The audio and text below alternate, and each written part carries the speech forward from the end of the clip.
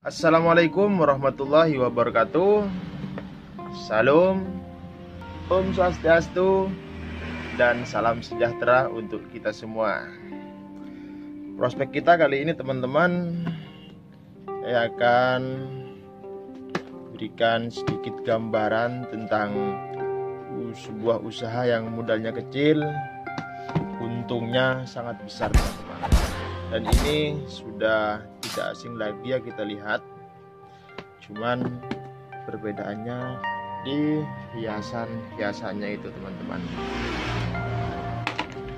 Ini kalau di daerah Bali dan Jawa Timur disebut donat. Donat ya teman-teman. Ini cuman dikasih hiasan-hiasan seperti coklat ini dipoles dengan coklat. Kalau yang kecil-kecil ini namanya misis ya. cara untuk mengembangkan usaha seperti ini teman-teman bisa dengan cara bikin sendiri atau hanya semacam atau langsung bisa order ke produsennya. Dengan cara teman-teman bisa bagi hasil selain donat juga ada ya. Semacam ini. Napis nih teman-teman.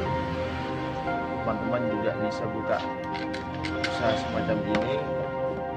Jangan sampai modal menjadi penghalang untuk kita sukses.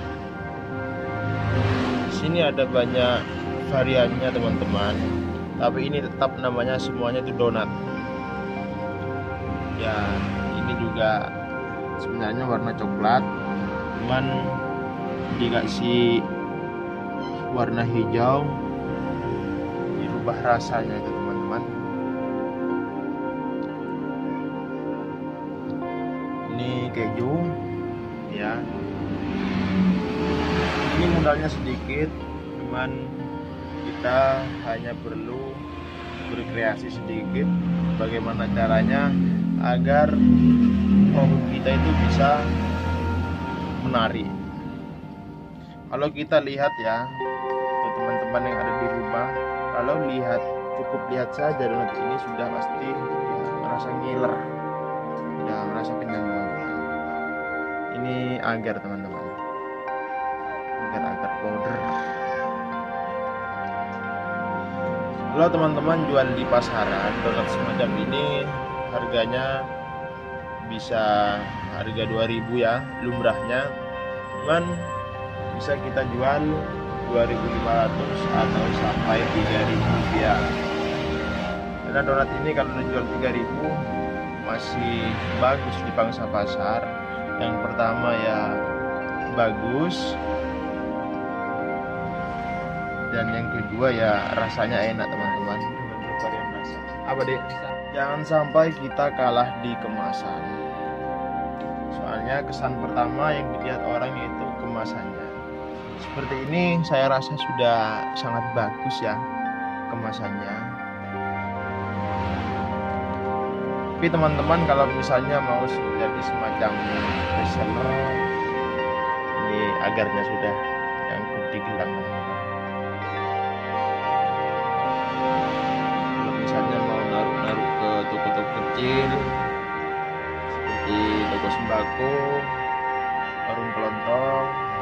sebagainya ini teman-teman bisa ditaruh dengan harga 1500 ke toko-toko. Dan toko-toko itu bisa menjual dengan harga 2000 rupiah biar kompetisi harganya tidak terlalu mahal teman-teman.